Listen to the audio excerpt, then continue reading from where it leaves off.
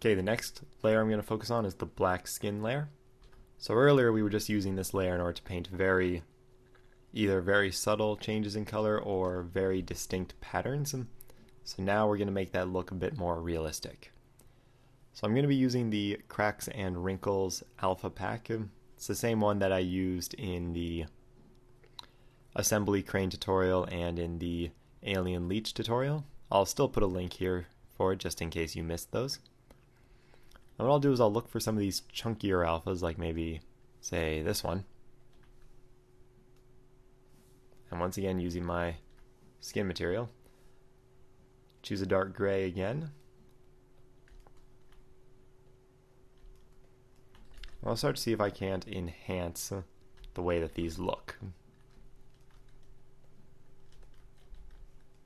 Just by adding some rougher patches. Pick a few different kinds, make sure they're not all the same. Although for this, I actually don't want there to be very much jitter in the color profile. Now for this, what I just did there is I actually stopped using my tablet. I'm just using a mouse now. And what I did was if I go into Edit, Preferences, and I went to Viewport, and I set the mouse wheel to control the brush rotation. So that way, just using my mouse wheel, as you see, I can rotate the brush freely.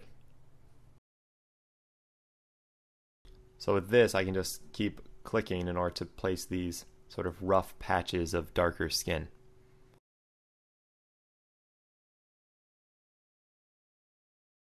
I want the edges of these lines to not be quite so smooth. Hmm. So with a very small brush here, I'm just going to try and roughen them up a little bit. Hmm.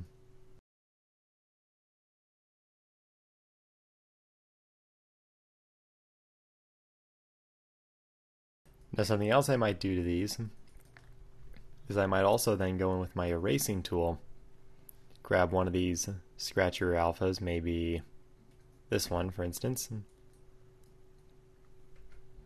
make sure I'm set to appropriate stroke mode, and start erasing bits of them too.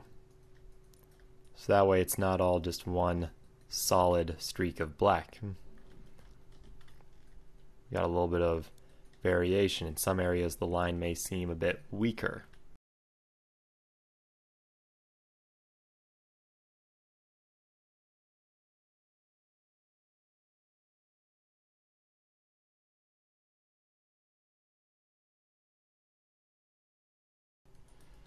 There we go. Now, to fill in this area back here,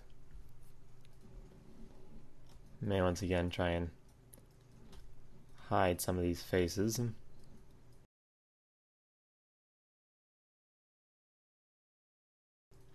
There we go, now I have a very clear view of that area. I'll go in again with my brush, and I'll go to my reptiles skin scales, and I'll pick some of these,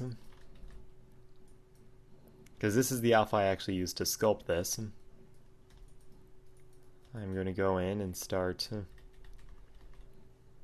once again, you gotta set, and I'll start painting in some of these uh, scales over here.